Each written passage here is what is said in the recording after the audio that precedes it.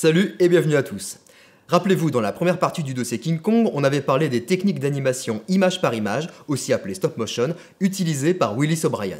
En effet, si ce dernier est considéré comme l'un des pères des effets spéciaux au cinéma, d'autres pionniers ingénieux l'ont précédé, expérimentant dès le 19e siècle différentes techniques. Bien avant le dépôt du brevet du cinématographe en février 1895, plusieurs inventeurs avaient déjà conçu bon nombre de jouets optiques donnant l'illusion du mouvement, en jouant notamment sur la persistance rétinienne et les illusions d'optique. Les plus célèbres sont le tomatrope, inventé vers 1825, You can do magic. Teach me. It is no magic. It is what we call optics. le phénakistiscope, élaboré par le physicien belge Joseph Plateau en 1832, le zootrope, conçu en 1834 par un mathématicien britannique, William George Horner, et le folioscope ou kinéographe, dont le brevet a été déposé en 1868 par le britannique John Barnes Linnet. Show me.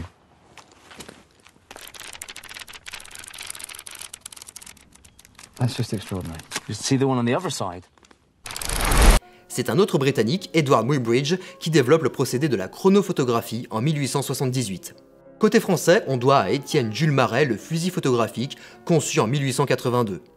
De même, Émile Reynaud invente le praxinoscope en 1877, puis met au point en 1892 son théâtre optique, sorte de praxinoscope géant.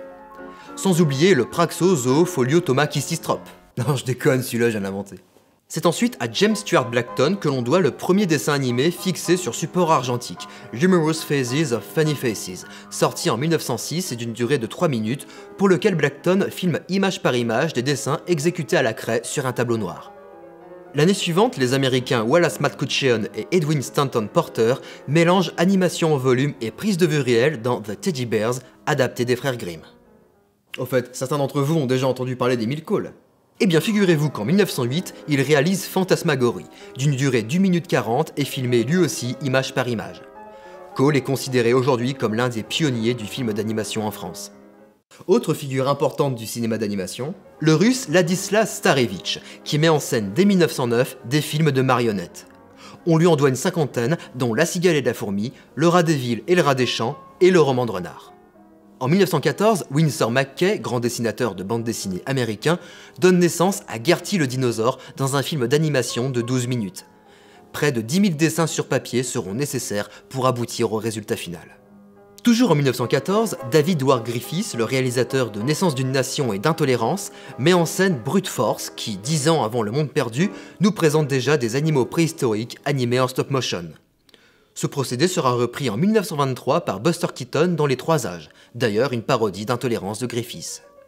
C'est au milieu des années 1910 que Willis O'Brien, alors âgé d'une trentaine d'années, s'inspire des trucages expérimentés dans les films de Georges Méliès et de son rival espagnol Segundo de Chomon. Ainsi, son premier court-métrage, The Dinosaur and the Missing Link, sort en 1917 et révèle déjà le goût d'O'Brien pour la préhistoire. Le célèbre inventeur et industriel Thomas Edison, enthousiasmé par son travail, l'engage alors au sein de sa compagnie et lui propose de réaliser 8 courts-métrages d'animation ayant pour thème le monde préhistorique. Et voilà ce que furent les premiers pas de Willis O'Brien, qui élaborera peu après les effets spéciaux du monde perdu. Maintenant on comprend mieux pourquoi Cooper disait de lui qu'il était un génie absolu, n'hésitant pas à lui faire confiance pour concevoir les effets spéciaux de King Kong. C'est ainsi qu'O'Brien entra dans la légende. C'est la fin de ce flash, merci de l'avoir suivi et à très bientôt